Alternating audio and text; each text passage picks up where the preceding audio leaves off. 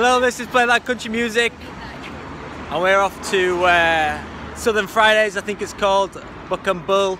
I want to introduce some people who have come to join the community, and they're going to tell us a little bit about why they've joined, because this is exactly what you should be doing if you like country music, because we are an all-inclusive, free um, country music community, and we want to get everyone involved and have a really good time.